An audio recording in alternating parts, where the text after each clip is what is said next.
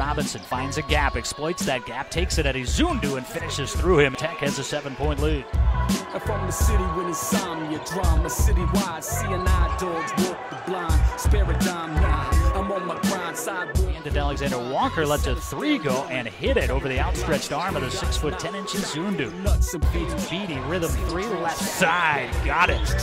Hill takes a contested three and buries it. Johnson was right there with a hand outstretched. Extra, extra, front page news. I got the big city blues. Out in front for Alexander Walker. Step through move past Lykes. He lays it in with a left hand. Defense fueling the Tech offense. Robinson now driving, runs into his Zundu Circus. Finish as he lands on his duff and throws it in with spin. A foul on the big man as well. I got the big city Left side outlaw. Here he comes again, and that one break the back. I got the big city blues. The pass corner outlaw for three, and the dagger. You betcha. Big shot for Kyle. City blues. Great! Hey, that's the guy who was the first time since I've been here five years. Never won here.